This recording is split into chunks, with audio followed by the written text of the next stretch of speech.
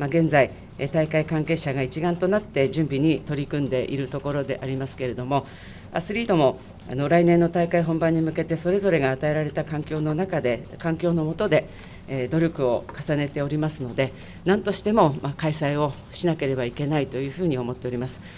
え一日も早くあのしっかりと IOC が東京大会は確実に開催することができるんだということを発信していただけるように、私どもは全力で、えー、コロナ対策に、えー、全勢力をまあ傾注していきたい、そういうふうに現在は思っているところです。